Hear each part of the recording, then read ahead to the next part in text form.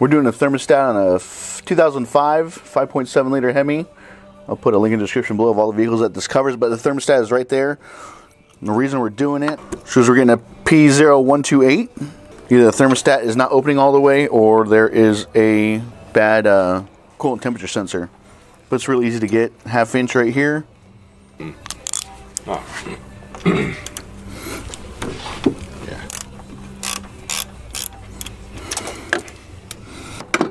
So the other bolt is right there.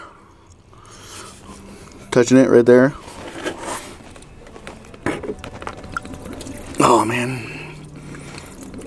So any coolant you lose, you're gonna have to replace once you put the new thermostat in.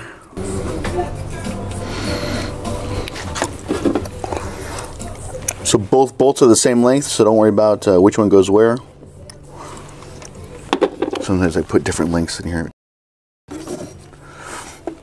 Get that out of the way.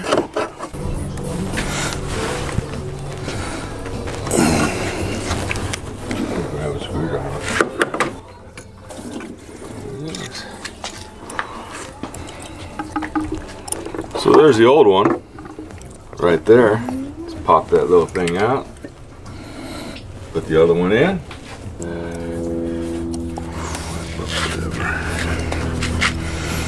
Know? Oh, it opens up at 203. Yeah, so this is the correct one. And it also has stamped there 203, if you can see it there. Oh yeah. See? Mm-hmm. Yeah. So the other one I don't think did. Let's look at the other one. You got this on Amazon? Yes. I'll put a link in the description below where you got this from. We got number 52028898. But you see this one's a little older. I don't think it may have been changed or possibly has been changed. once. 52028898. 52028898. Mm-hmm. Exact same part number. Ah, but there it is. There's a difference, John. You see in here, if you see the rubber piece in oh there. yeah, the rubber's all gone. The rubber's all gone on that one. So this whole lining right here, where my finger is right now, this whole rubber piece is missing. P0128 is basically your thermostat is uh, opening too soon. So you have a pin right here, right? it's that pin that goes at your 12 o'clock position. Oh, really? Is that Yeah, it helps air helps air escape. Oh, okay. I never knew that. Make sure that's seated all the way down correctly. Just kind of feel around the edges and make sure that it's all even.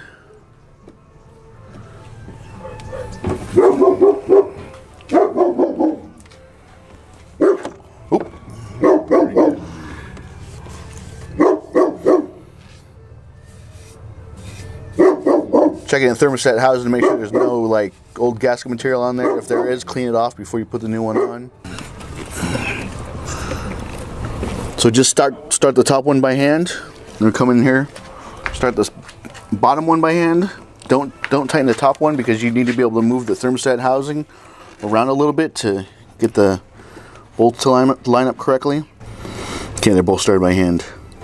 So make sure you have a catch catch pan at the bottom to catch any coolant, and once you secure these up, um, go ahead top off your coolant system, and uh, go ahead when you need to any of the coolant that's run down. When you open this up, you can just uh, get some water and pour it over where you spilled the coolant, and that'll take care of any uh, coolant stuck on your engine.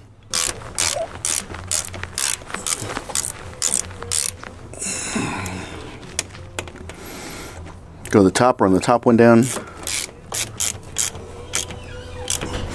Snug the bottom one up, snug the top one up, and then go back and forth until it's completely uh, until it's completely tight. You just don't want to have it going at a at an odd angle or cockeyed or any way. When you do the job. Okay, that's good.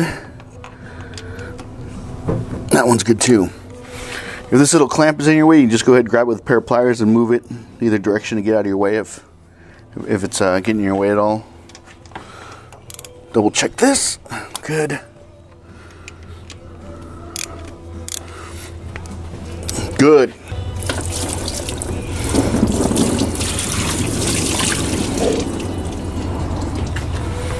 We're going to go ahead and top off the coolant a little bit.